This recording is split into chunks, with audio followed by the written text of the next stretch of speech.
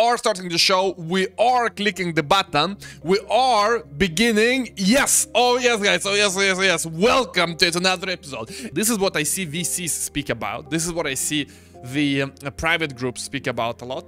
This is blockchains without gas. Okay. But what if you have no gas? Okay, think about that for a second. And of course, you're wondering, like, how can you have no gas? You're gonna have bots and you're gonna have uh, spam. You need to have gas and fees so that the blockchain is not spammed. And that's fair. But when you think about internet, when you think about using websites, when you think about using any web application, you don't pay. There's no gas fee. There is still infrastructure cost. When you watch this video on YouTube, there is a cost to that. You don't pay it when you sign up for a service, you don't have to pay gas fee like to save your email. But if you want to save anything on the blockchain, you want to change the state of the blockchain in any way, you have to pay a fee on all blockchains today.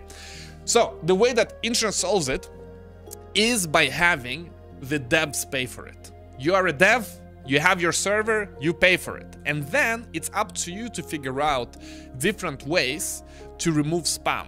So on the internet, you have rate limit. When it comes to the internet, you have this kind of approach and this new types of blockchain, like for example, Saakuru is doing the same thing. It's free to use Web3 with the whole model being that developers put in place different uh, restrictions on what kind of usage is allowed and not allowed just like on the internet.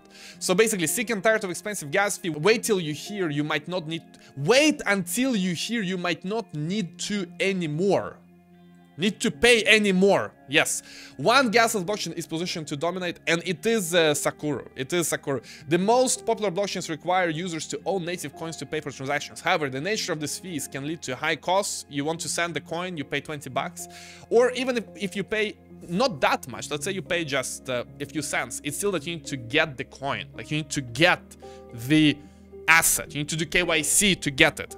Let's say you want to start using Solana today. It's super cheap fee. Base is also super cheap fee. How do you get the gas token? You need to do KYC. Into your, your passport basically is required to use the blockchain. You cannot use it otherwise. So it's a big problem. If we can remove the ID self, you know, you smile with your passport for the KYC so you get the gas coin, it's massive. And Saakuru eliminates transaction fees from user experience by making bridging from Web 2 to Web 3 most co cost effective by providing a two-layer solution. You have the infra layer and then you have the developer layer. Both layers are operate on public permission blockchain.